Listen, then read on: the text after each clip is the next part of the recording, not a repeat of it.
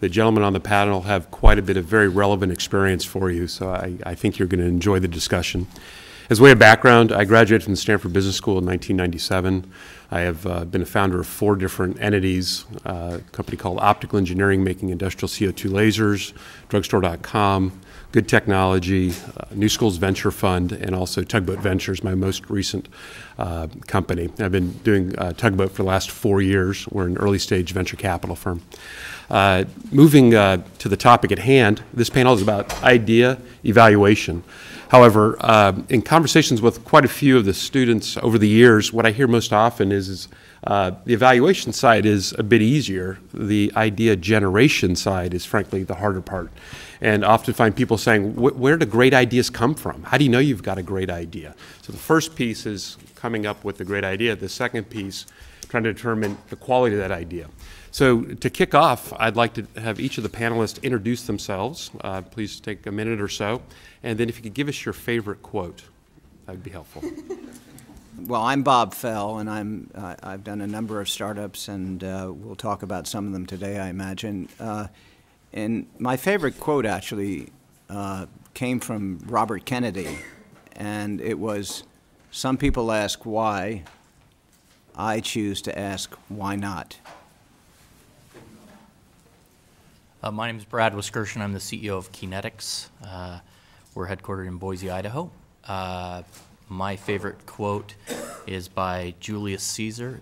It's uh, Veni Vidi Vici, came, saw, conquered. His uh, report home after defeating, uh, after being victorious in a battle in uh, Asia Minor after four hours. And I like it because it's tough and B, it's pithy. I, I aspire to be as pithy as that. So. Hi, my name is Justin Fishner-Wolfson. I graduated from Stanford with a master's in computer science um, at an venture firm called Founders Fund, which is well known for investments in Facebook, SpaceX, things like that.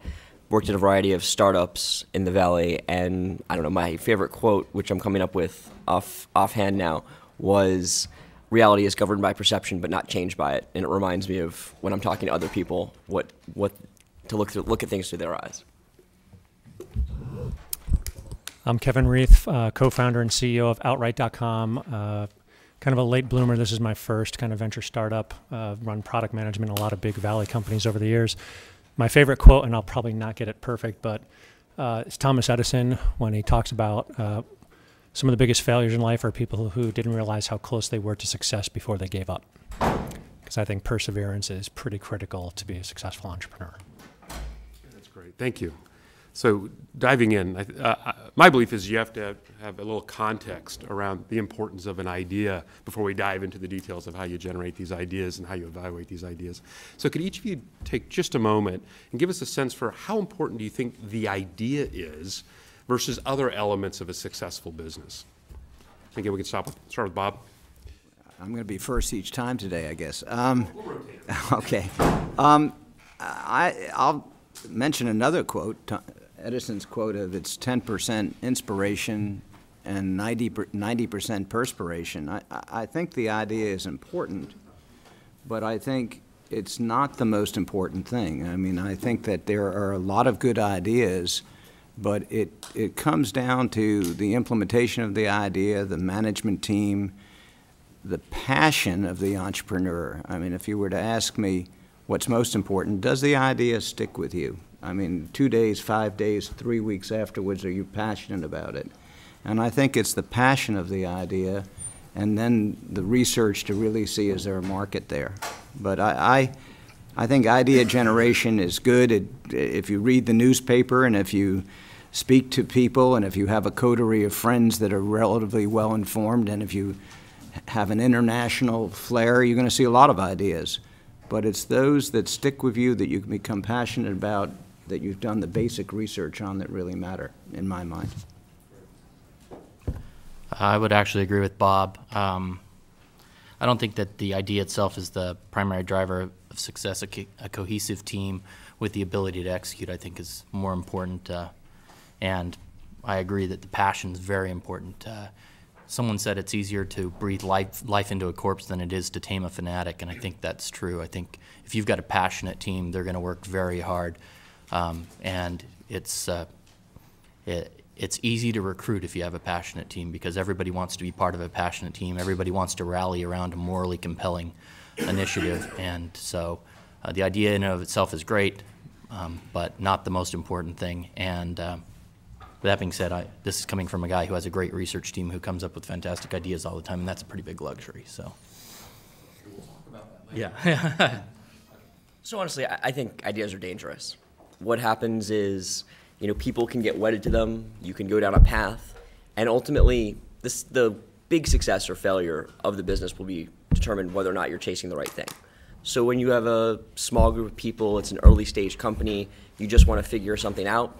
Does the idea matter? Probably not. The people are way more important because the number of teams I've seen that have started in one path and gone a completely different way six months later, 12 months later, and built something very successful. I mean, there's a huge number of those people. But ultimately, if you go out and you chase an idea for a long period of time with a great group of people that's not very good, it's there's a limit to how successful you can be. And I think there's a you know it's a question of where you are in the process that determines how important important the idea is. Yeah, so I agree with all these comments. Um, I don't think a great idea is necessarily going to, you know, give you success. There are so many other factors. The one caveat is uh, a bad idea is crippling, and especially an idea that's not based on a real need. Um, so there are so many failures out there where people, you know, people by nature, we tend to think in terms of solutions. We want to jump to the right answer. We want to get to that shortcut. Uh, and so we get wedded to an idea and we get really excited about it.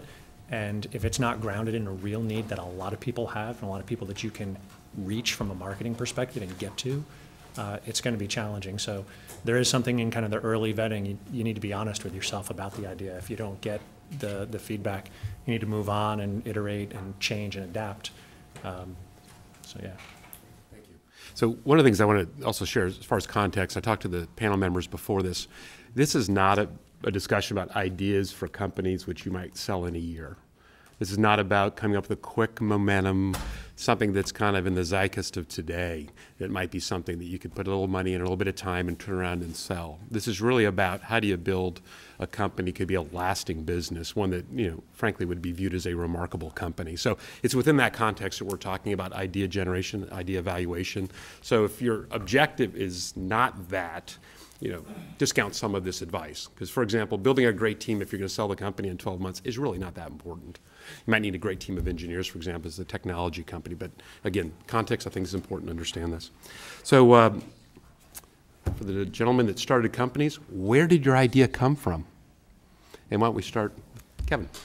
Sure. So uh, ours started, like many, with personal pain. So uh, my co-founder and I were running a web development company. We had left kind of big corporate America, and uh, our company, Outright.com, is uh, free online bookkeeping, very basic. Uh, and when running our company, even though we had worked at Intuit for years, trying to do the finances on QuickBooks, when we were both working at home and needed access to it, it was just painful. And we thought there's got to be a better way. And as we went around and talked with a lot of our clients and vendors and other folks, uh, we found that there were a lot of people saying there has to be a better way. Um, and so it started with, with kind of that, that personal pain. But what was interesting is our original concept that we put out there, and we actually threw up mock ups on the web and asked people to check it out. Uh, we didn't get the reception that we thought. Uh, it turns out that what people needed, the bigger opportunity in the market, was something much simpler.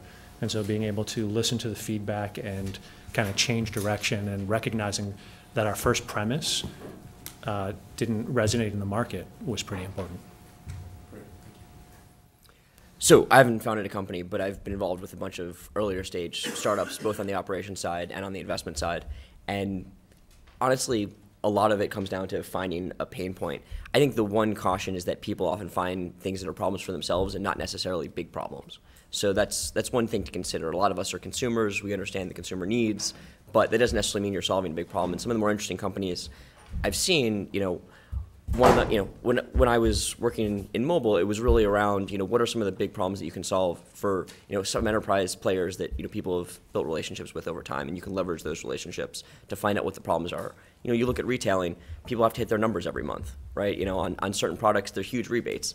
You, know, you don't necessarily know those things unless you've been in the industry. So leveraging, you know, industry knowledge in places that you've worked or things like that can add a lot of value. Uh, I guess I'd be surprised if anybody in that room has ever heard of Keynetics. Uh, so I'll give a little background first. Keynetics is an internal incubator. Uh, we were founded in 98. Um, by internal incubator, what I mean is we have a research team that comes up with our own ideas, and those are the only ideas that we incubate. And we only incubate those ideas using our own money. We don't have any third party or institutional backers.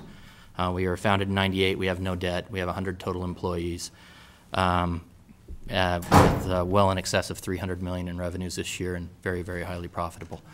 So we've got a lot of money to do what we need to do in order to incubate companies and grow them. So we have, currently have two operating subs. The life cycle of a company in our uh, of a, subsidiary with our company is we have a research phase where we have a research team that evaluates that takes any ideas that are, that our members of our company come up with. They they vet them for technological or business viability. Then we pass them on to our early stage investment phase where we incorporate, we do all the things we need to do in order to make the company viable. We have a we have a growth acceleration phase where we hire a standalone management team to take it to the next level with an eye to our liquidity event. We had our first liquidity event in, in 2000.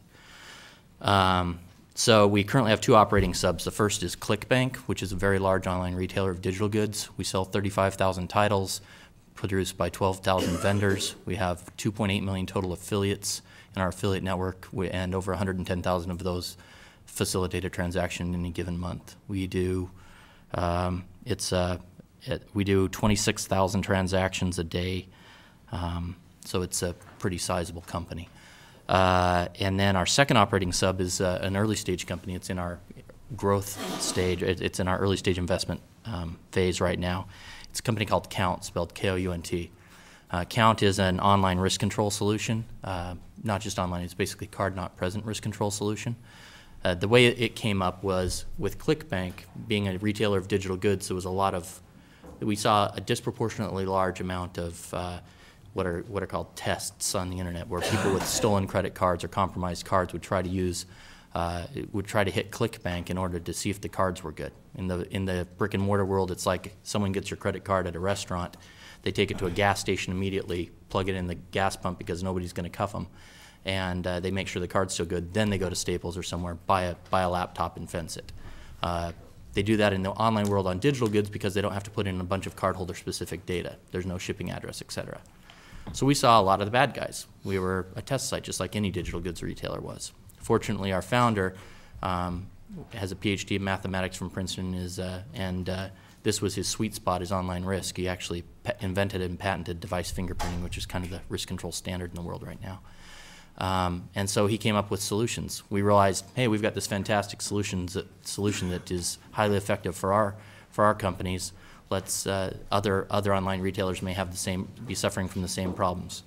Uh, we sent some folks out to do some uh, analytics and determined it was the same. So as a result of our pain, the pain that we felt at ClickBank, we decided we could come up with a solution that worked for the rest of the world, and it's been remarkably successful. So um, we're very fortunate.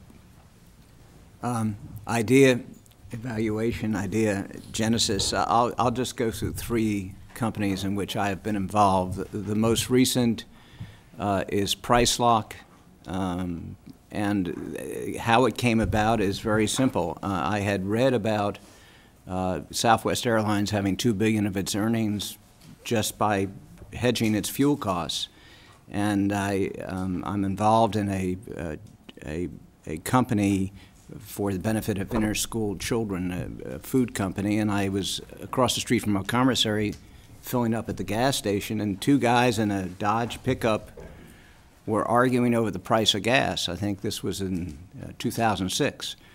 And uh, one guy said, it's going to go up 30%, 40%. And I, I just, I don't normally walk over to people in a gas station, but I walked over to these two guys and I said, let me ask you something price is $1.67 on the, on the, uh, for gas.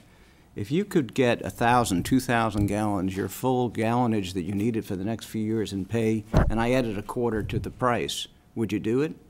And both those guys said, absolutely, we do it in a second. I said, how would you pay for it? They said, we use our credit card. I said, that's 18% money. We don't care. The price of gas is going up that much. And so it, the idea started to gnaw at me, and much to the chagrin of my wife, every time I'd pull into a gas station, I'd go over and speak to people. And, and uh, ultimately, Pricelock was born to extend. You know, I, went, I had relationships at Goldman Sachs, and I did go see them and ask them. I learned a lot about hedging, and it was not just from you know, that occasion became a business, but we did our work and we put together the funding. I put my own money up in the beginning, but basically it was as simple as how do you extend what Southwest Airlines had done to, to, the, to a whole new class of customers? And that's how Pricelock was born.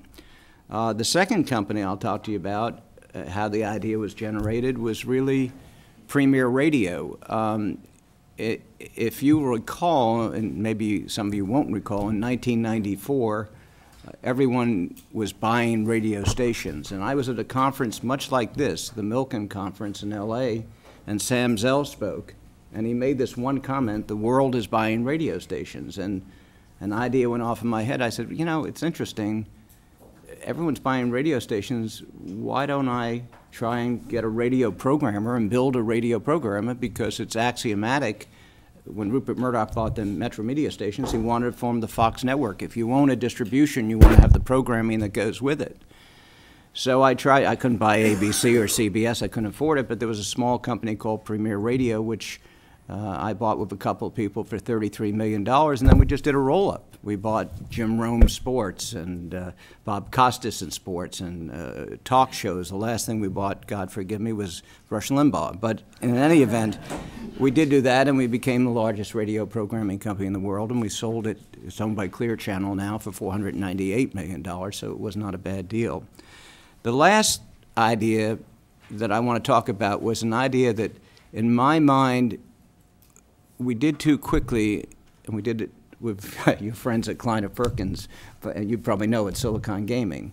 Um, the, I had been involved in electronic arts with Brook Byers in the startup, and I said, and I was standing in Las Vegas with Steve Wynn, and he said, you know, it's not going to always be the blue-haired ladies that play these machines. And all of a sudden I said, Jesus, you know, we, we have this touch technology. You have so much we've learned from the game business.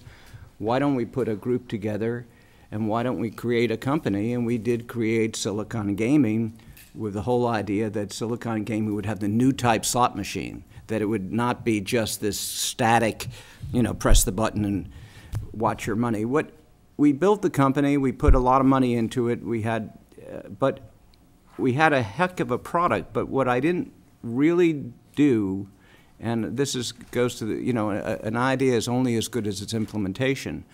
What I didn't really learn, and I did hire Andy Pascal, Steve Wynn's nephew, who ran the slot machine business for at that time MGM Mirage, but I didn't realize that it doesn't matter how good or bad the machine is. It just matters can you get it in the location? People go there and they play the machine, and it doesn't matter. You know, you can have beautiful graphics, you'll just spend a lot of money.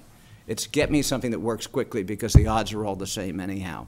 So we sold it. Uh, we built the company. We got our money out with maybe a little bit of profit, not not if you count time, and we sold the company uh, to IGT, which is the largest in the slot machine business. So I come back to our original point. Ideas are only as good as their implementation and the work you do to make sure that the market is big enough and that you can build a profitable business therefrom.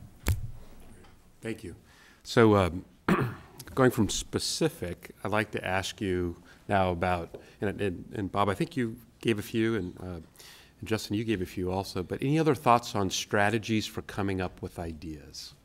How do you go out in the world tomorrow? Let's say the four of you are starting fresh tomorrow, and you're like, I'm going to go build a big company. I want it to be a meaningful, remarkable company. I want it to matter. What would you do tomorrow to start looking for ideas?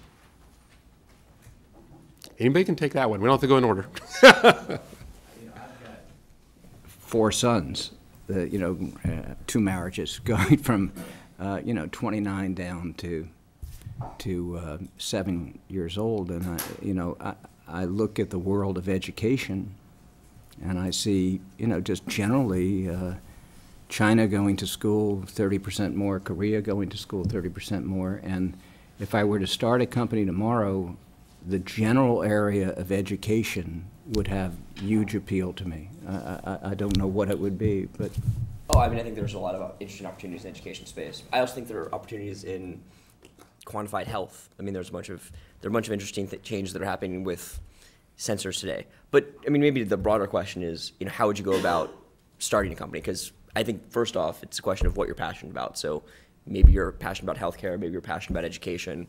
You know, if you're not, don't worry about it, right? There's there's the general sense of if you want to build big businesses, if you want to build lasting businesses, something that will be a great enterprise, you're looking for the subset of opportunities that can be billion dollar companies. And that's not all companies, right? There, there are lots of very successful small businesses that drive most of the employment, as I've heard on the radio consistently in America. So, I mean, there are lots of great businesses that you can do, but if you want to build a billion dollar, multi billion dollar company that has a real impact on a lot of people, that's a small subset of businesses. And so you have to think big and you have to understand where there's a big problem in a big market. And I think there's within that a subset of businesses that are easy, right? So going back to your point about, you know, distribution, right? You know, you're trying to get slot machines on the floor. Distribution in almost all businesses is a pretty big challenge. So the question is, you know, some some ways are easier than others, and some might be specific to your background and your relationships. So that's that's kind of what I would start by thinking about is like how do, what's a billion dollar business and then what's an easy billion dollar business. And one way to think about that is to think about what kinds of businesses tend to be winner take all. So places where you have some kind of network effect, right? You've got all the classic communications networks, things like that. You've got Facebook, all the phone companies. Like these are these are quintessential network effects businesses. When there's a winner, there's one winner, and it's a big one, right? You can look at places where you have an information asymmetry. Companies like Google, they have a better product because they have way more data on what everyone is doing to refine their results. So they've consistently just stayed ahead of the curve of everyone else because they continue to have more and more data. So I think there are some general themes that you can take advantage of when you're just trying to think up what are the really, really big ideas that you can chase down. on the high level question, I'd go to lunch. Uh, and by that I mean I'd get the smartest people that I know, which are generally, fortunately, people that are on my team, and I'd take them to sushi. And this is what we generally do. We, I, we go to sushi, we sit at a sushi restaurant in Boise, and yes, we have those uh, for a landlocked state. And uh, we go to the same place and we sit at the same tables and we start brainstorming. And we'll brainstorm for a few hours. We'll identify some problems and then we'll start identifying plausible solutions.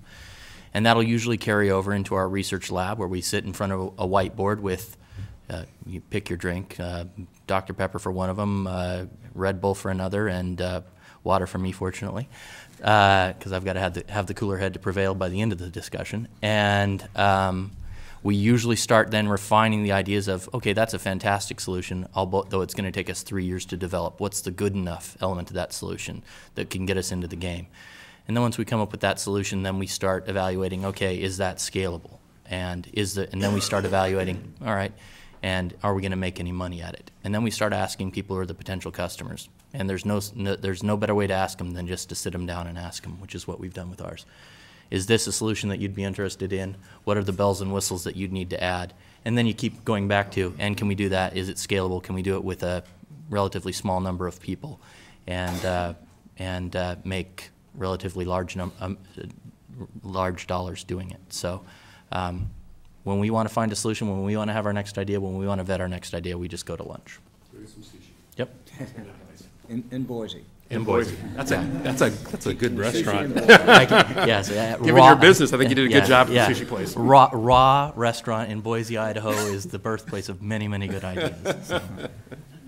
So I'm kind of a fan of, of Bob's story about going up and talking to people at gas stations. So uh, for me, I find it hard to say I want to go out and come up with ideas, and it's more about making sure you're good at listening every day and every interaction you have with other people, because ideas get thrown by you every single day. You read about it, you hear about it, um, and it's just are you paying attention? And every once in a while, something you know, and this gets back to the passion comment. When you hear something that you're like, okay, that interests me, that intrigues me, that's probably going to catch some of your internal passion and you'll probably stick with it. So then go out and do some more research, talk to more people, read up on it, and see if you kind of get that validation as, as things support your hypothesis. And sometimes you're going to find that, no, you're wrong, okay, move on to something else. But a lot of it is, and a lot of the entrepreneurs I know, um, they've got a backlog of ideas. They've got 10, 15 things that they would love to work on right now, except they're working on something they think is their best idea.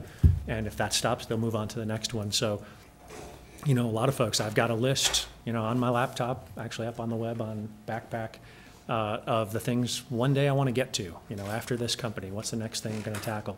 And it's always coming up. And so um, I think a lot of it is just being very aware and recognize the different data points as they come across your path to start drawing those connections that maybe other people don't see.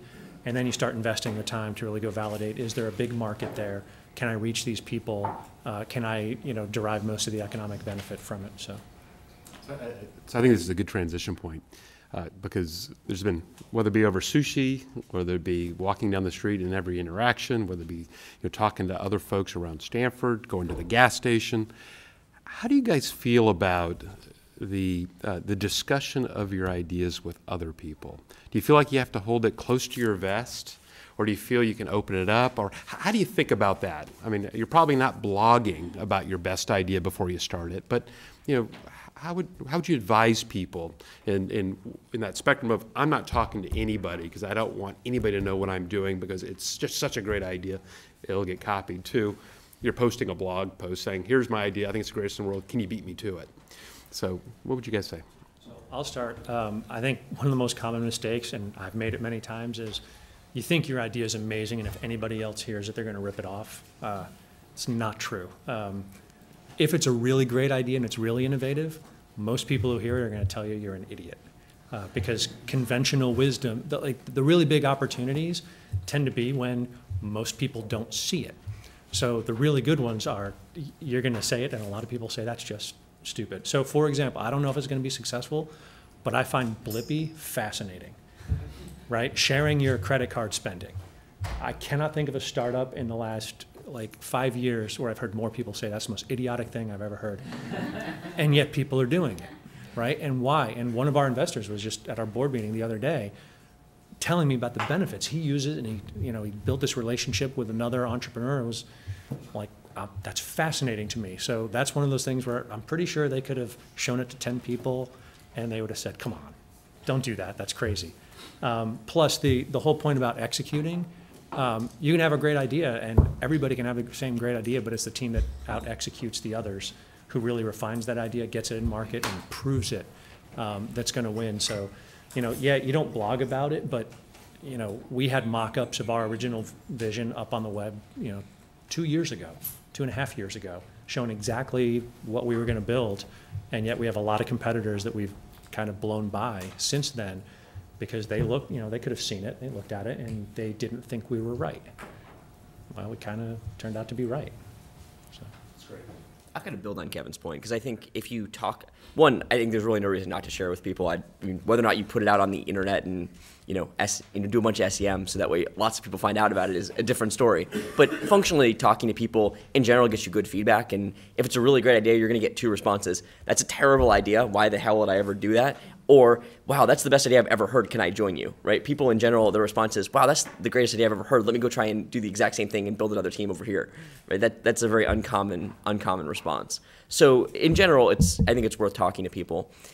The, you know, the, the interesting the interesting thing about sharing ideas is one it's a great way to recruit people right? Like you you want to be able to build the best team and so you need to be able to tell a story that's compelling that you can that you can attract the best kinds of people. And so i think telling that story to other people will force you to build a concise clear vision of what you're trying to do. And i think that's that's a very important part of the process.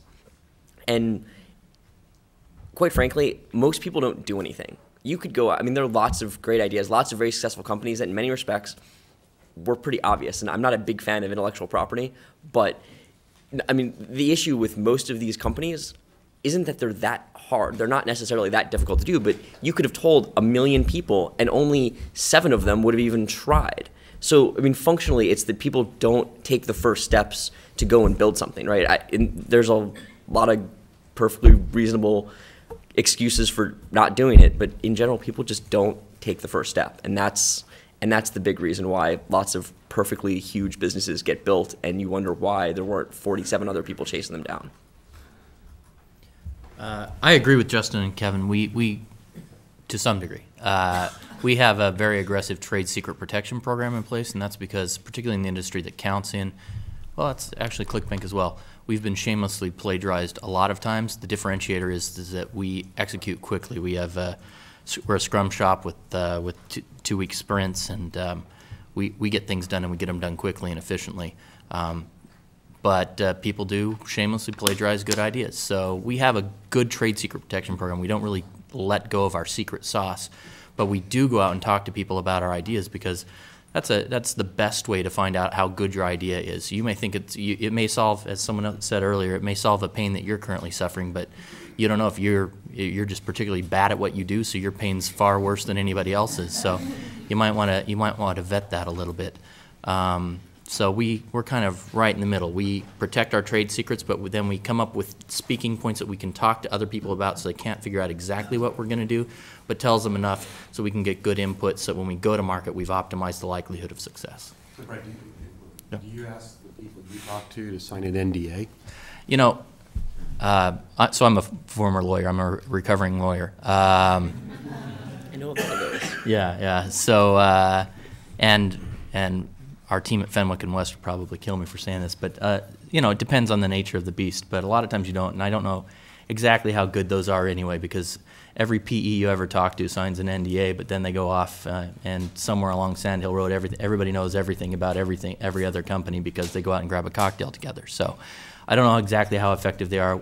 Um, there are instances when we do, and there's a lot of instances when we don't.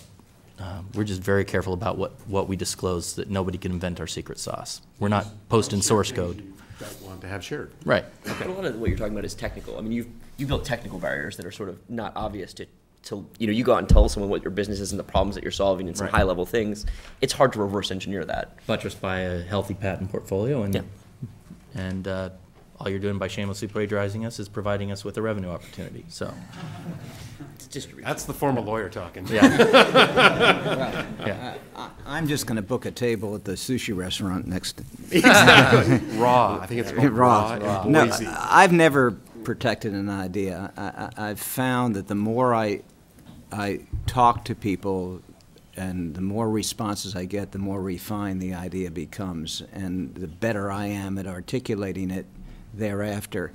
And I think uh, over time, we all develop a coterie of friends and sounding boards who, you know, maybe there's a half a dozen people wh- whom you always go to and you talk to about ideas. And I, I know in Santa Barbara, every Sunday morning, at least during the football season, a group of guys and I have breakfast, and you know, probably we bet football more than we discuss ideas. But eh, you develop a group of people with whom you you feel comfortable telling your ideas, and they give you honest, open feedback. And and I think that. uh, I've never tried to protect an idea because I've always thought if I want to do it, I'll try and do it with the best management team of anyone, and you know, maybe it's a confidence, but that's that's where I stand. Great. So, how about uh, common mistakes in evaluating an idea? Where have you or your friends kind of ran into trouble? Bob, you were kind enough to share the story of Silicon Gaming. Sound like you kind of missed the behavioral aspects of that and the importance of location. But can you guys share some other examples where, uh, or that would kind of illustrate common mistakes that are made? I, you know, I, I've stayed with some ideas too long, um, uh, and uh, just because, uh, you know, I, I I was passionate about them, but not realistic. You know, we, uh, we looked at the restaurant business 1992, I think it was, and I said, why is there not a casual Chinese like P.F. Chang's? And I did, you know, I did get with Philip Chiang, and I did uh, do a couple of prototypes, and I kept saying, we just don't have it right. Well, you know, several million dollars later, we still didn't have it right. So it, it was it was a mistake. Just stay with it too long, and How would you mitigate that risk in the future? um, 'Cause li- you're- listen to my wife. no, truly. I mean, she said, you know, this food is terrible. I mean, she was very blunt about it, and an I kept saying uh, it. honest I, friend. yeah, uh, which is absolutely true. I mean, it, basically, um, it, you, you, I said, but it's authentic. It's authentic, and you know, I was, I was passionate about that part of the world, and I was, I was wrong. Um, the second mistakes that I've made are with, you know, um, sometimes I'm so anxious to proceed that I pick the management by background and not by how well I get on with them. Uh, it's a hard thing to really figure out. You, you, you, you pick someone because, God, what a great background. Uh, go back to this. This guy ran all of the restaurants for, you know, for Marriott Corp and a big chain. I'm just using one example, but the guy could, could not be an entrepreneur. I mean, he, you know, he had to have five people if he told a small story. And so I, I urge anyone who's going to be an entrepreneur and build a management team, spend a lot of time with the people you're going to hire. Um, get to know them better than the mistakes I've made in not doing that enough uh, in certain instances, and and and and you just get mesmerized by someone's background as opposed to do they do they do they fit with you. And so, can I go a little deeper on that? So you're spending more time with them. What are you trying to get underneath in those discussions? Would I want to go to a, a, a ball game with this man or woman? Would I want to spend time with their family? I mean, it, it's just it. It takes time to get to know someone, and, and it's, it, it, there's in a startup there's going to be the bad times, and do you want this person in the trenches with you? There's going to be the bad times. You're gonna, you know, uh, I can remember certain times where I thought, you know, I'm not going to make payroll, and there's going to be bad times. And would this person really just say, forget about paying me, or stuff like that? I, it's, I've made mistakes. I mean, we all have, I'm sure. I think people forget that the only reason companies go out of business is they run out of money. Like at the very fundamental level, the only reason you, you, you stop running your business is because you've run out of money. And in the world of startups, money equals time, right? The more money you have, the more cash you have in the bank, the more time you have to build your business. And that's just the fundamental nature of the game. So, you know, the question, I think the biggest mistakes that people tend to make is they somehow get the timing wrong. I mean, timing turns out to usually be one of the most important things with any business. And if, you know, you're right, I mean, people have been saying mobile is the place to be in the 80s. Well, you know, if you started your mobile company in the 80s, probably not around today. If you started in the 90s, probably not around today. If you started in 2002, probably not around today, right? So functionally, it's a question of, you know, how much time do you have to build your business? And if you get it wrong, if you if it turns out that you thought it was a direct to consumer business, but you actually actually have to go and strike big distribution deals with, you know, major companies that take 24 months to do, you know, that's that's money. And so people, you know, I think one of the biggest mistakes you can make is not understanding the amount of capital it takes to build the business into a sustainable point. Once you have a sustainable business, the world is very different. But a lot of startups, especially around this this area, you know, they're they're not they're not started in a sustainable way, right? It takes time to get there, and you have to make sure n- to have enough cushion that if you're wrong, you still have a chance to get there. Because if you're off by six months, it doesn't matter. Right. I agree with both Justin and Bob. I think, I guess the question was common mistakes. Um, mine would be probably letting uh, the fervor of creating an exciting, cool solution uh, uh, be the driver without properly sizing the market or proper, properly uh, evaluating your end consumer's needs. Uh, I see that a lot. Even in our shop, when our research team, when, when they start working on a project, we get real excited about something that's really cool. I mean, this is just a fantastic idea. And what we have to do with the model that we've created, we have to be really disciplined. We can take it a long way. We've developed products and been pretty close to being ready to go to market and had to say, okay, we've put a lot of time and energy into this thing. Is this the right move for us right now? And you have to be really willing to put your pride aside and say, you know what, we may not have we may not have evaluated that quite properly, so we're going to pull the pull the plug now because we want to be around tomorrow and we don't want this to be a huge drain. And uh, you've just got to be really disciplined about that, and it takes a lot of pride to be able to say, yeah, we were wrong on this one. Next one we're going to nail. So. Did you ever have one where you felt in your gut that uh, it was wrong, but you went ahead and launched it and then learned that your gut was right? Uh, fortuitously, no. Uh, we haven't we haven't done that yet. There's been ones where, um, in my gut, when we started the development process, uh, that I thought, wow, this is this is. I don't know. I don't see the full vision yet, but I but you know we're all we've all we all think it's got potential, and as we as as it evolved, as we got closer to launch, we decided, nah, this isn't the right move. And so we've been fortunate enough to pull the trigger um, and cut things off before we've gone to market. So can I ask a follow-up question to Uh-huh. you specifically, Brad? Some people would argue that if you have a lot of very smart analytical people sitting around a table, which may be what your research lab is, maybe it's not, I don't know, that contrarian ideas, you know, the ones that are the non-obvious ideas, will never make it through the table because there's too many people who can shoot down any contrarian idea. So how, because you do have contrarian ideas. yeah. You've done things that other people probably didn't see as obvious. Right. So how do you manage that so that the, the analysts don't crush it? Well, And, and I'm, I want to extend it more broadly. It's like your friends who are analysts, your friends who are good consultants and bankers and all that, that you're, you might be bouncing your ideas off that uh, just can't see why you want to go after that stupid idea. Well, there's a lot of things. First of all, uh, we, all recognize that whenever we start these discussions, we have to be open, honest, and fearless. I want people to come up with contrarian ideas because to the degree they're not coming, throwing those out on the table, we're gonna we're gonna make mistakes that we didn't have to make, and we're gonna spend money that we didn't have to spend in order to figure out that we made those mistakes. So.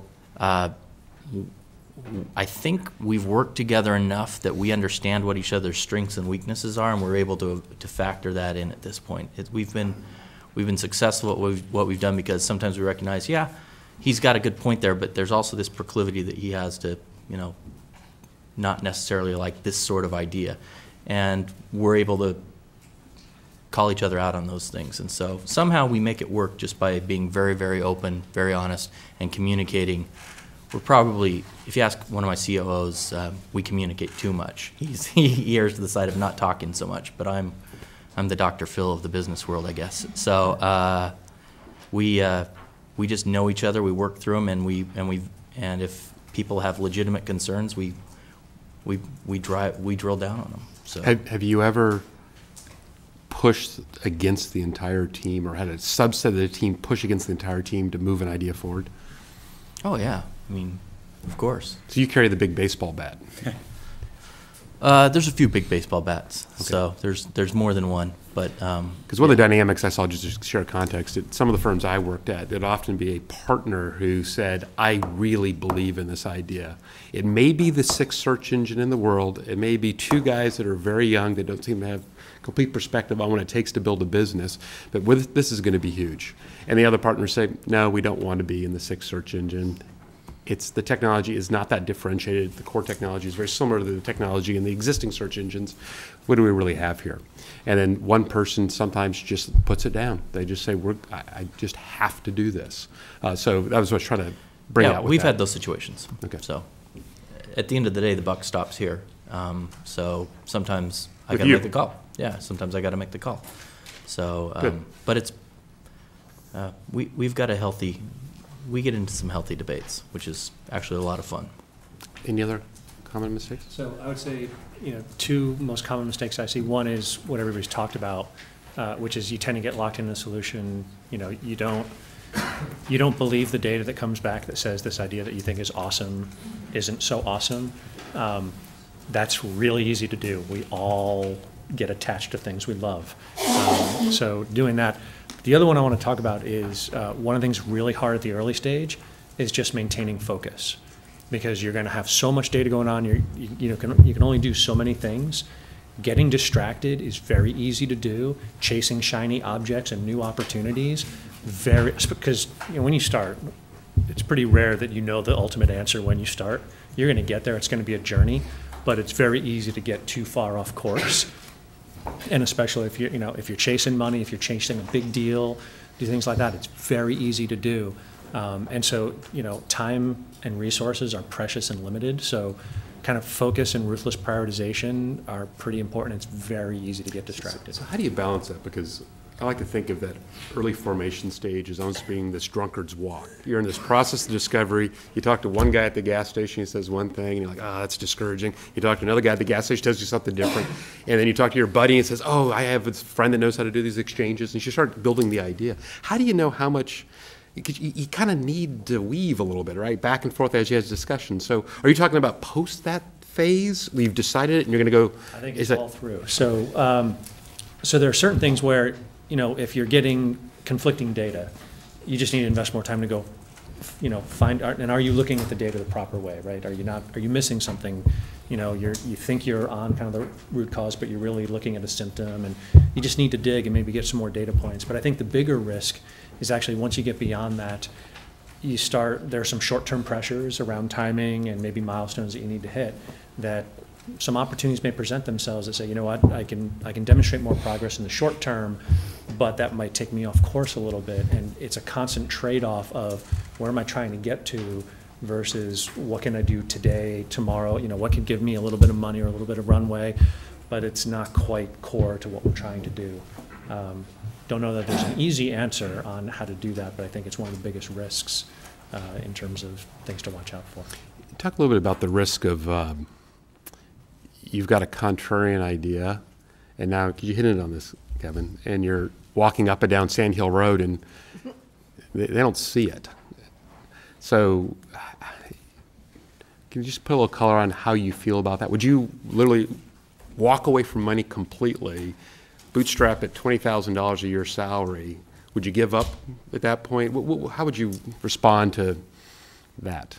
Well, given that I thought about giving up maybe five, six times before we actually got our money the first time, um, that's a challenge. I mean, it's tough. Um, We did bootstrap it, but everybody has a different risk profile, right?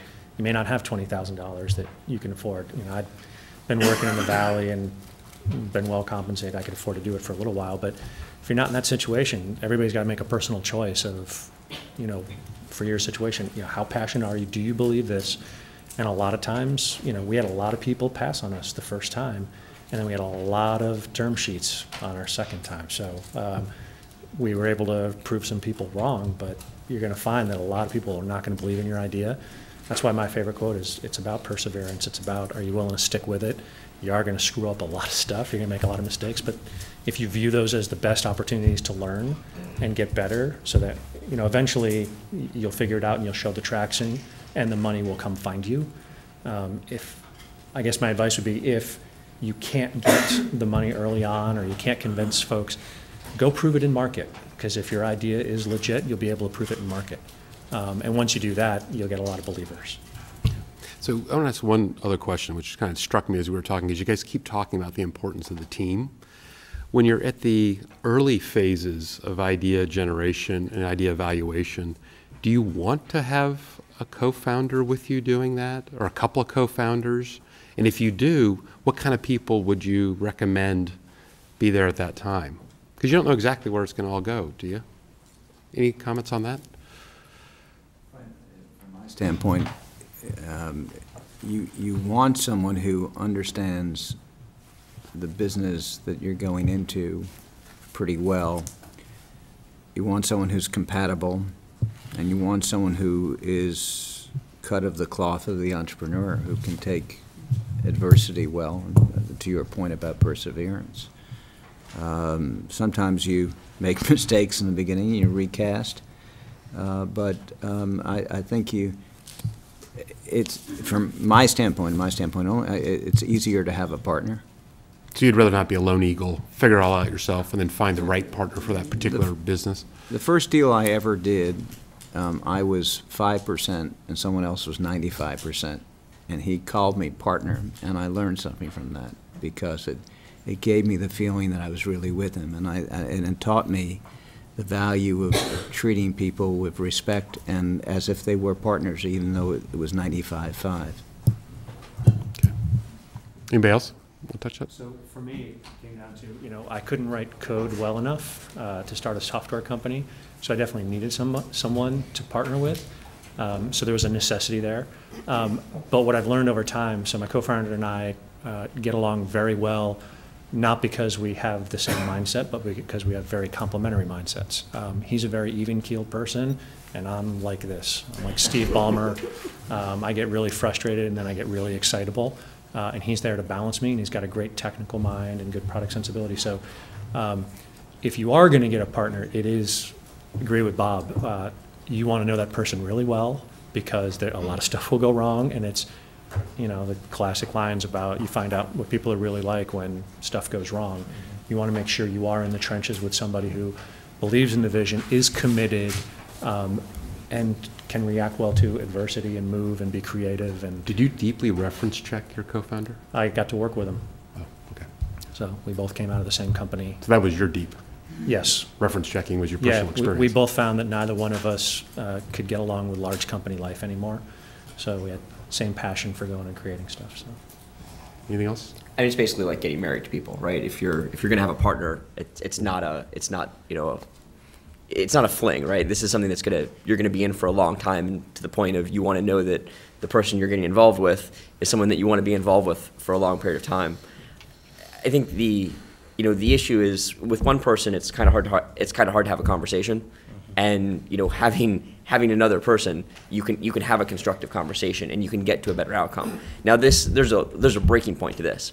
Three people, okay, you know, four people, five people, six people. I mean, it starts to get to the point where it's unmanageable. So you know, there's probably like a cutoff around three. You know, two is probably better than one, but you know, one is definitely better than four. So you know, it's it's good to be able to have a conversation. I think that's important when you're starting something. Super. Yeah, I agree. It's hard to have an idea-rich environment if it's you. Um, so, Even if you have the big stick. and- yeah, I mean, it doesn't matter Buck how big your stick there. is or how great your ideas are. But, uh, but I agree. The the key with um, with what Bob and Kevin have both said, which is the key, is make sure you've got somebody that, as Bob said earlier, you're going to want to be able to go to a baseball game with. You don't have to agree all the time. In fact, you probably don't want the person you're always going to agree with as your partner. But you better make sure you can you can handle having sushi with them regularly. So. That's great. Okay, so, If I can add one other note on that. Uh, Another thing that I think is important, because we talk about kind of the, the team, um, your network outside, personal life, just having other people who are supportive is gonna be pretty important too, uh, especially when stuff goes wrong. So, you know, having a wife that'll tell you that you're nuts, or having friends that will tell you to keep believing that, you know, don't give up. Um, This is, I mean, this is just true in business in general. Having other people to believe you and support you um, is more important down the road than it probably appears when you start. So, thank you. So I'm going to open up to questions in just a couple of minutes, but I want to, do any of you guys just have a burning thing you want to say? Given that we've had this discussion, we're like, gosh, I, I wish David had asked that question, or I need to get this out. Anything you want to say before we move to questions? Because I want to give people a chance to think about questions they'd like to ask. To be an entrepreneur requires you to be irrational to a certain extent because it is marginally insane. To be irrational? Irrational. I mean, it's, it's marginally insane to go out and try and start a company with nothing, right? I mean, this is this is a difficult process. Lots of things will go wrong. Everyone will tell you that there's a high likelihood of failure. The statistics bear that out. So you have to be marginally insane to do that. And the the people that are the best at it are the ones that can somehow balance the fact that you know they'll take all the data that says this is a terrible, terrible idea and throw it out and say no, it doesn't matter. It actually is a great idea, and they'll be right some of the time. And you know also have the flexibility to get it back and know that it you know it. I need to stop this. I need to go do something else. And that's an impossible thing from anyone sitting on a panel to figure out you know which way which which time is the right time to pick that path. But that's I mean that's really what it. It, th- those are the ultimately successful entrepreneurs, and it's a really hard thing to do. yeah, it does get back to that passion thing. You know, you have to have the fire inside to deal with all the stuff that's going to happen. Because if it's just an academic exercise, if it's just, you know, I, I want this great business, when things get hard, you need something else to hold on to. You need to really, really want it, believe in it, whether it's anger that's driving you or just frustration, what, whatever it takes to motivate you to really want to make this happen. Um, that's probably the number one thing I've heard from every investor when they evaluate. Bob, you talk about passion. It's, you know, they want to see that. They want to see that fire that will just will, you know, will it to success. Because it's a lot of work. I mean, it's a lot of work. you know, you're you're you're. No, we have great resources backing our startups, but it's still a lot of work. You're still going to your first customer, and they're like, "All right, where are your references?" Well, you can call my mom. She thinks I'm great. Uh, also, there's a couple other guys that I hang out with regularly, but uh, you know, it's it's a lot of work to to break through uh, with a with a startup. Well, I, you know, I, I said this to my oldest son uh, a few weeks ago. If you find something for which you really have a passion, you'll never work a day in your life. And it's really true. If you really have the passion, I mean, um, my best definition of an entrepreneur is someone who has no other choice. You know, it's just what you want to do. That's great. So, show of hands, how many questions out there? One, two, three, four. About nine. And we've got 15 minutes, so if we're going to get through all of these, we need to do this in about a minute and a half. So why don't we do this? Ask your question, and if I could ask the panelist, whoever kind of look at each other, and if somebody thinks it's theirs, grab it. And then if you have one add-on comment, but let's not go through all four people. Is that okay? Great. This is for Justin, I think. That's good. Um, That makes it easy for us. I'd like to, to focus really on the, on the theme, which is evaluation. It's, you know, uh, idea evaluation. And uh, I think a lot of, everything was interesting, but in terms of evalu- evaluation, really you came back on the need, the market and so on. Okay, now, investors typically are focused on the business model. And as everyone knows, uh, a lot of very successful businesses have been built on an absence of initial revenue. So that's a major issue, I think, that many entrepreneurs here are, are faced with that problem, you know.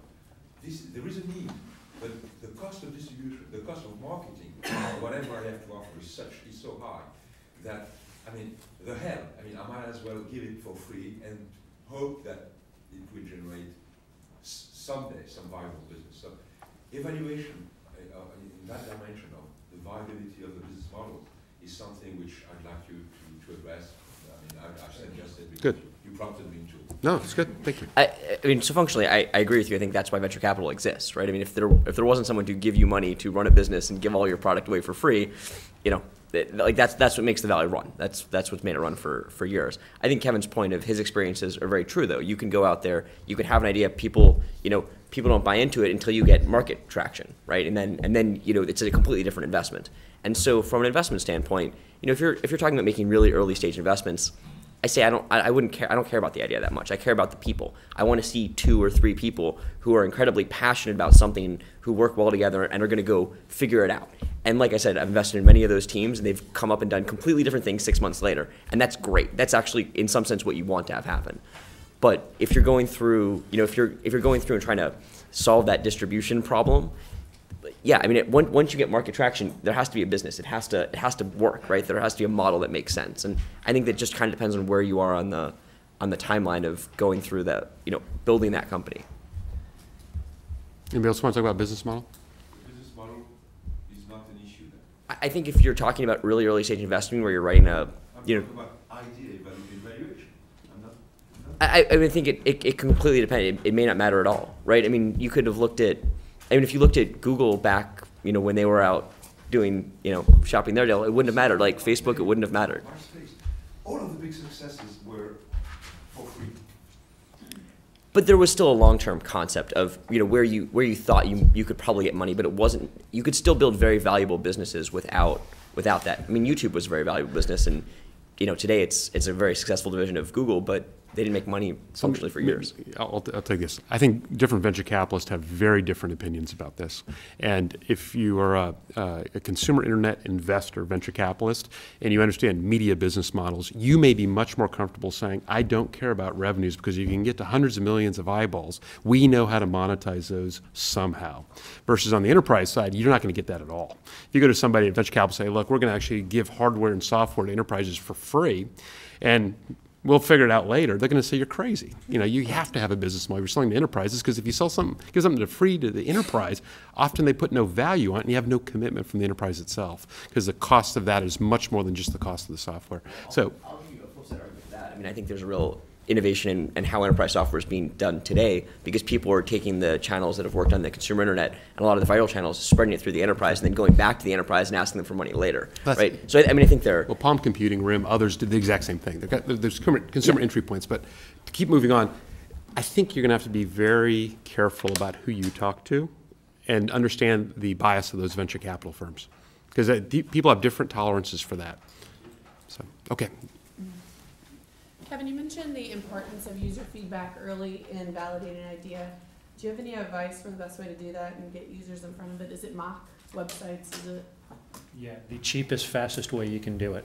Um, so, uh, is it, I'm trying to think, is it, can't remember the name of the author, um, wrote a book called Don't Make Me Think, uh, who talks about our tendency to want to overthink kind of especially with, from an academic mindset, uh, how we do research. The most important thing about research is do it quickly, show it to somebody who's even a reasonable proxy for your target customer, and do it with paper, on the web, you know, HTML mockups. Um, even if it's conversations, napkins, you know, gas stations, throw ideas out there. The most important thing is just get some early feedback from some potentially prospective customers, um, because you'll you'll get more feedback in the first iteration from three to five people to then go modify the idea. So it's more important to kind of iterate quickly than it is to put together like the perfect research project or get the right prototype and you know the, it's just early data is better than like the perfect data later after the investment. Thank you. So I have this question about uh, first mover and smart follower. So I have an idea and I'm incredibly passionate about it, but I think like there are a lot of challenges that are in implementing in the sector in India, rural sector in India. So I want to know what are your thoughts about letting anyone else follow it, uh, take it up first to the market and learning from the mistakes. Yeah, I think it, it's going to depend on the idea. Uh, so there are definitely places where you have first mover advantage. Um, but there are, uh, uh, I think a lot of ideas out there tend to be an iteration on somebody else has already tried it. And to, I think most of the points people have made, it's not necessarily the idea, it is about the execution. So fast follower works really well if you see somebody do it and they're just not doing it quite right. We're actually following, there was a company who tried to do exactly what we're doing, built too complex a product, approached the market uh, in the wrong way. They got into a switching game, and we looked at it and we said, that's, you know, very similar vision for what we wanted to do, but we disagreed with their tactics and we came in. So we were not the first ones with this idea. Great. So entrepreneurship is all about taking big risks. Common thing I hear is take go a huge idea and um, take the biggest risk possible. But how crazy is crazy? Like would finding Google or reading Apple be a viable idea? I actually don't think that. I mean, creating any business is hard, and so in some sense, you know, building the biggest business possible isn't significantly more risky than building a smaller business. I mean, there, there, there you know, there's some nuance there, but the difference between running a, you know, a company that's 500 million, you know, valued at 500 million dollars and a billion dollars is not substantially different, right? I mean, there, there are, there are a lot of, you know, there are differences, but in some sense, you want to, you want to go after the biggest possible idea because a lot of the challenges that you're going to see in terms of building the team and distribution, things like that, they're sort of constants, right? And they only, they, they scale linearly, whereas other things don't scale linearly. They're exponential, so. In- In line with your question, uh, the best thing you can do as an entrepreneur is really know yourself. Real, don't, don't, don't BS yourself. Know yourself, know your real capabilities. That's the hardest thing. Yes, have a grand vision, but know who and what you can do. And that takes a while, but it, it- it's a very important factor in success. I'll add one bit to that. If you're going to take a bold strategy like that, you better have an angle. You better understand something nobody else understands and go after it. Because we'll use Google as an example. When they were getting started, they knew Yahoo, they knew Inktomi, they knew AltaVista, and they knew the limits of those businesses. And they were absolutely convinced that they were not committed to innovating in search. And other people on the surface said, wait, you know, Excite's worth $7 billion, At Home's worth $15 billion, Inktomi's worth $12 billion. They're going to keep innovating forever. You- You'll never catch them. It's like, that isn't what was happening inside those companies. They had stopped. So, who else? Uh, quick question also around business models, but for bootstrapping, what are some of the characteristics that you need to be able to successfully bootstrap a business? Be. Cash flow. Credit cards. Work, be, be willing to work insane hours and surround yourself with other people who are as well. Great. All four hit that one. Let's keep going. If you're on your own right now, this is a bit more of a tactical question. How do you even begin to think about distributing equity if you're gonna find a partner? Or Do you have any benchmarks or anything like that? Uh, talk to a lot of people. People are always willing to. That's a topic that people will talk ad nauseum about um, and get a lot of input. There's there's all kinds of benchmarks depending on the industry, but uh, the, there's no subs- substitute for bending a lot of people's ear and saying, "How'd you do it? What are you doing? What are you taking?" And uh, I, I, I- tell people all the time I'd rather own five percent of a hundred million dollar pie than hundred percent of a one million dollar pie. So um, a lot of people don't don't ever figure that out. Yeah, I think that's actually the biggest risk, and we hear that a lot with folks worrying so much early on about equity stakes and sharing. Uh, The answer is, it is much more important to have a reasonable share of a success. That, you know, splitting up a tiny pie doesn't matter as much as making sure it's a huge pie. Be generous. Okay, yes. Yeah, so, um, Brad, you talk about sort of the inside of your business and how you vet your own ideas. Uh, without giving away your sort of secret sauce you talk about, is there, uh, again, more in this theme about really vetting those, uh, you know, crazy ones and, and something that is relatively, uh, viable? And the question is, So, so is, is there a, uh, maybe a process or maybe the three top things you look at?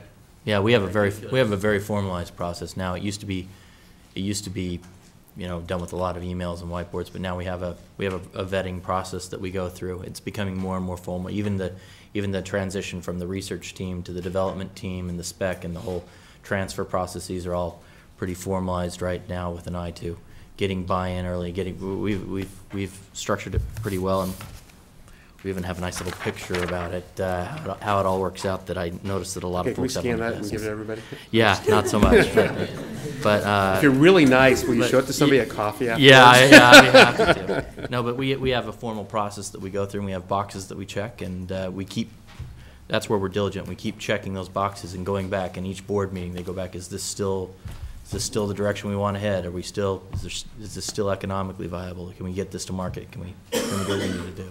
Is there, is there any like, uh, you know, I don't want to ask you for the slide, but. Yeah. Any sort of theme, uh, that maybe t- the top three check boxes that you say, or gates that, that you, uh, have to get that idea through?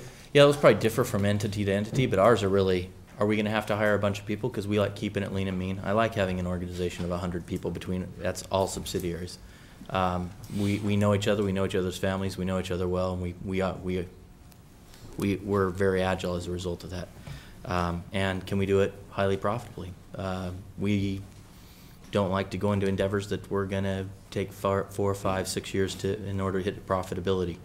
Um, we like to do it early, and we, really, most of our businesses surround, uh, financial models that are transaction-based. Okay. You had a question? Um, a lot of us in the room are fairly young entrepreneurs. I was wondering if you have any suggestions, particularly when it comes to evaluating are there particular industries or ideas that are too big or too difficult to crack for a young entrepreneur, or do you see, or do you have any advice um, about that? A great idea is a Great idea, whether it comes from a seven-year-old or a twenty-year-old or a forty-year-old or older. I mean, it's a, if it's a great idea and you can, you can articulate it and validate it and build a management team for it, go for it. Take your dreams and go for it. Build the team. If there's some reason why you need relationships or something, go find that person and make them part of the team. Okay. Oh, I'm I'm trying to remember who's had their hands up for a while. Who's had their hand up for a while? Okay, go ahead. Uh, Just in, on your uh, favorite quote about perception and reality, uh, company A is perceived to have a better product, company B has in reality better technology for that product. How does company B proceed? I mean, that, that's that's a tough question to, to answer without kind of specific details. But I think the fact is, I mean, the Google example that, that Dave gave is, is perfectly accurate, right? I mean, all these big companies were perceived to be doing a lot of a lot of innovation. You know, Google came along, realized those companies were completely dead on the inside from a technical standpoint, and then over time, you know, they built a better product and they just launched it. And from a consumer perspective, they gave you a better answer, so people switched, right? It's you know, it, it takes time to change things, but you know, they they they didn't they didn't get caught up in the perception that everyone else did that all these other companies would continue to innovate indefinitely. And switching costs were low, which you, Costs were low in that example. yeah, it's one click away. Would you say that? What? Switch back and see for it. I feel like you guys uh, address the service aspect, like, you know, anyone can take a, an idea, sit down with a C plus plus book and start writing out a program. But what about an idea costs, you know, a lot of money? Like, where do you find an investor that is willing to invest in your idea that, you know, you're not afraid it's gonna take your idea or, you know, beat you to it or, you know, what, what, do you have any advice on that aspect? So can I ask a clarification? So you said a service business The- that requires a lot of money? Well, no, anyone can start writing a program, they can Right. sit down, read a book, and write a program. Yeah.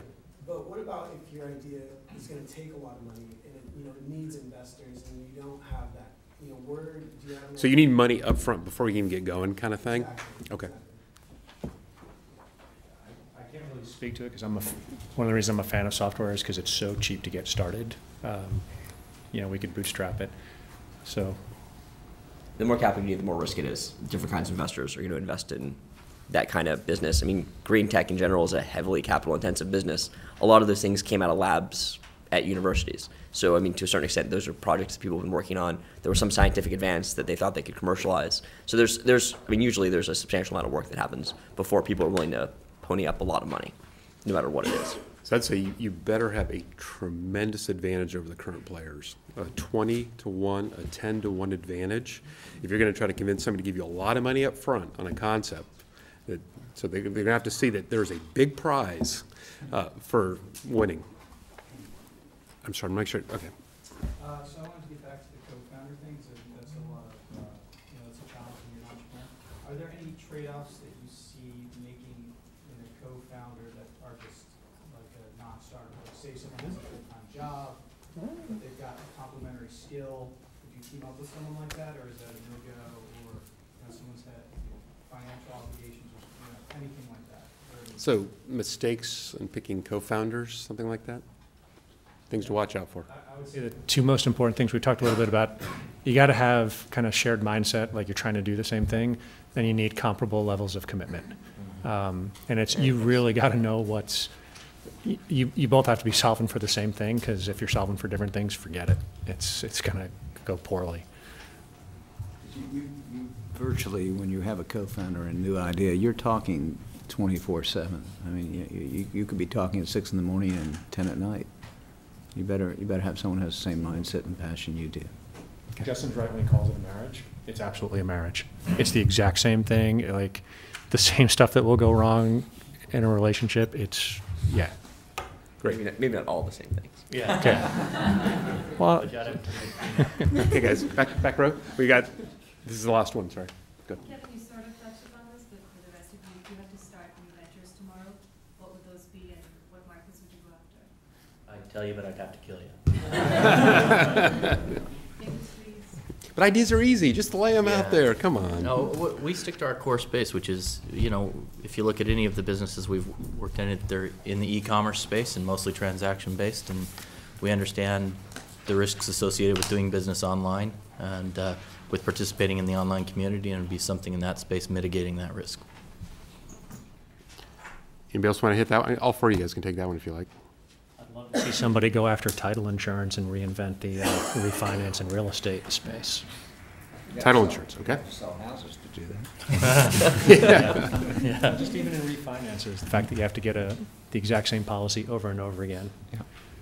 That is market inefficiency right there. Justin, Bob, want to throw one out? Well, I, you know, I, I, I think you look at the world and you say, there are so many opportunities. I, you know, I have a increasing passion for education. I suspect the next thing I do will be in education. But there are so many things, but you have to be passionate about it. You have, and, and have fun. It has to be something you really want to do. And, and not just because it can make money and be a big business, because you really enjoy it. And, and don't, uh, entrepreneur is the most enjoyable thing in the world if, if, if you have a real passion. I think there are a lot of things that have been, a lot of tools have been built on the consumer internet to, for lack of a better word, manipulate people into doing what you want them to do. I think you could probably take a lot of those tools and help people make the decisions that they find difficult to make, make their lives better. So I'll give you one last idea. Make a list of 10 things and make, start with silly ideas and then drop them off the bottom and keep adding. Your list will get better and better. Attack the top three things on the list and see if there's anything fundamentally wrong with those ideas. And so it's kind of a hypothesis driven approach and you'll start getting better and better at this. But you got to force yourself a discipline around kind of walking out in the world and looking for things every single day that could be problems and put them on that list and force rank them every day. Okay, guys, thank you very much. Can you please give the panel a big